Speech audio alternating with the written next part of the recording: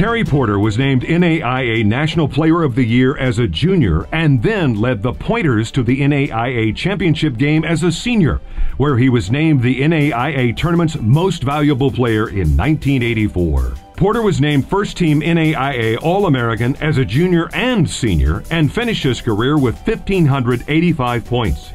He became such a dominant player at Wisconsin Stevens Point that he was the only NAIA player invited to the 1984 Olympic trials. Porter is a member of the Wisconsin Stevens Point Hall of Fame and the NAIA Hall of Fame and was named to the NAIA's 50th and 75th anniversary teams. Terry Porter, Wisconsin Stevens Point, and inductee into the 2018 class of the Small College Basketball Hall of Fame.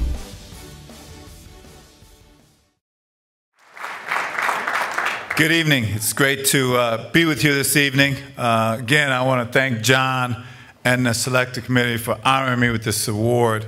Uh, it is truly an honor to be able to be here and to really uh, go into with the rest of the inductees. Um, as many before me have said, the collection of work and achievements of these young men is truly amazing. And to all the student athletes out there, you need to look no further than the inductees here to know that you can achieve whatever you want to in life. And it doesn't matter if it's in business or if it's in athletics.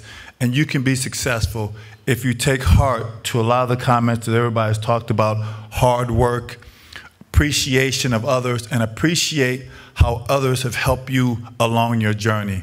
Uh, I go back to my mom and dad, who um, are no longer with us, but taught me the values and the important values of always loving people, friends, and people close to you, and more importantly, always doing the right thing.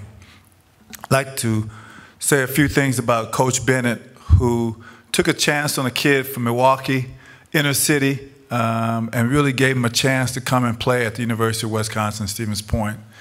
Didn't um, you know have all the accolades that a lot of kids in my state had, but he saw something in me, and I can tell you, coaching is all about um, understanding a young man, seeing sometimes his skills that he doesn't recognize, and Coach Bennett recognized that in me and was able to get the best out of me and open doors that I could never imagine in my wildest dreams. So to him, I thank him so much for the belief in me when I didn't have the belief in me. And thank you to all my teammates. Uh, I think every person on this um, inductee list has talked about the importance of teammate and sacrifices. And as you guys go through your season, your coach will continue to talk about the importance of your commitment and your sacrifices to each other. So you well, can hold those things very dear because they are very important in the success that you can accomplish as a team.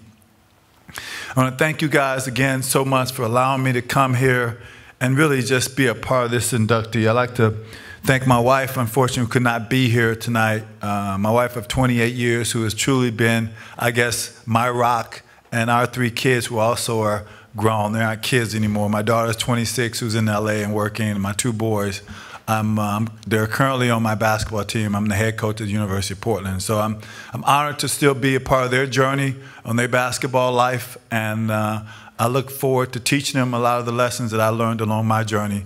So again, thank you guys so much for allowing me to come here this evening. And I'm truly honored for this award. Thank you very much.